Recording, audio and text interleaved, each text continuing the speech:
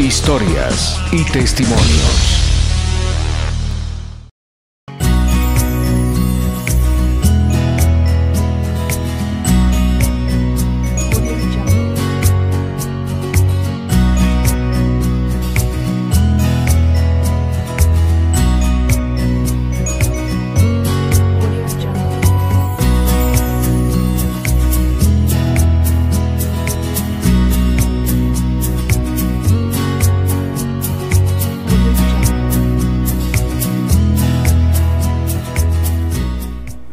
Muy bien, entramos a la segunda parte con nuestro invitado, Alejandro Contreras, el gerente de la Lotería de Cundinamarca. Una experiencia muy bonita, me imagino, máxime cuando has tenido que, tratar con muchas personas que viven de pronto de la venta de, estos billetes, personas que no tienen un sueldo y que se han encontrado con todo un escenario de, un amigo que les brinda una mano, eh, con un apoyo, con una ayuda, con un refrigerio, con un detalle.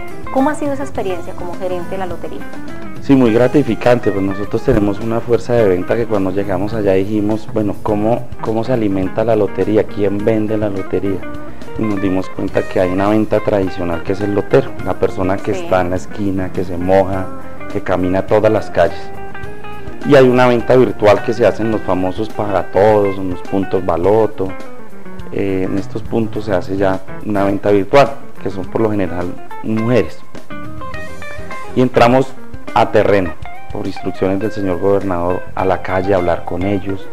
Hacía mucho tiempo no iban los gerentes a, visitarlos, eh, a crear una propuesta de abajo hacia arriba, nos daban unas inquietudes, cómo podíamos ayudarlos, cómo podíamos hacer un promocional que, que nos sirviera a todos.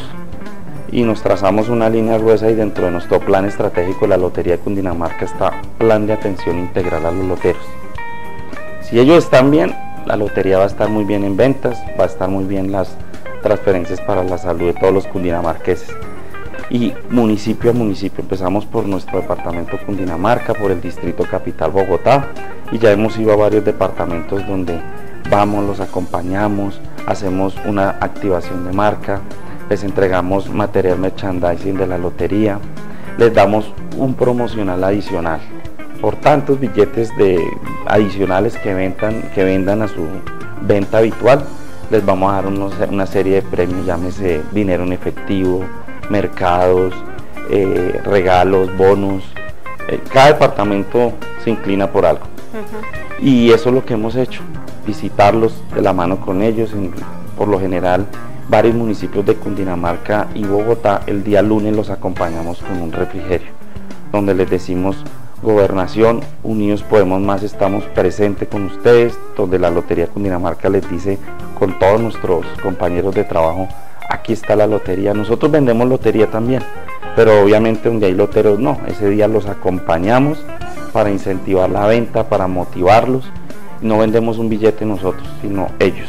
Creamos unos premios para la persona que compra, les damos algo y pues eso da una motivación para que ellos se sientan acompañados, se sientan identificados con nuestra lotería, pero pues lo más importante es ayudar a generar un sentido de pertenencia, donde ellos digan, bueno, si el gerente viene acá, nos visita, vende lotería, yo en mi camioneta ando con, con lotería de Cundinamarca, el gobernador compra lotería de Cundinamarca, todos los eventos, al alcalde, a los diputados, a todo el mundo le dice, compre la lotería, la importancia de, de comprar la lotería y generar como más confianza porque la gente es como apática a eso porque dice la lotería no cae, si cae al contrario, ya nos ha caído muchas veces.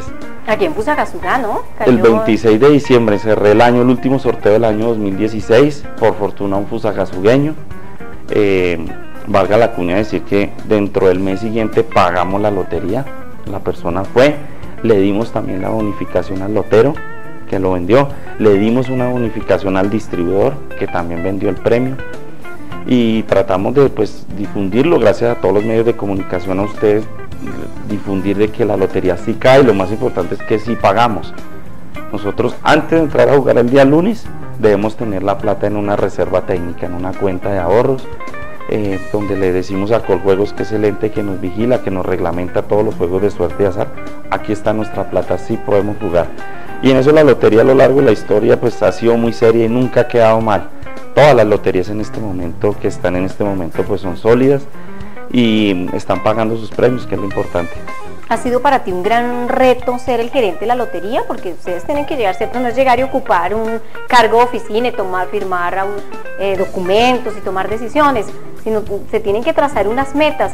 ¿Se han cumplido, Alejandro, y yo han obtenido los resultados que esperas? Yo tengo unas metas que las fijamos nosotros hacia el gobernador y que hacen parte del plan de desarrollo, que es incrementar ventas, incrementar las transferencias para la salud. Por eso me mide a mí, señor gobernador por fortuna en el 2016 generamos 26 mil millones de pesos para la salud de Cundinamarca, rompimos pues todas las, las cifras que nos habíamos propuesto, pero hace falta más, necesitamos llegar a un punto de equilibrio, el estado en que encontramos la lotería no era el estado óptimo, la lotería de Cundinamarca era una de las más grandes del país, tenemos unos activos fijos, la lotería es dueña del Museo Nacional, dice, que queda en Bogotá en la carrera séptima, es de la Lotería de Cundinamarca. Hoy no nos pagan un peso, no podemos entrar y es de nosotros.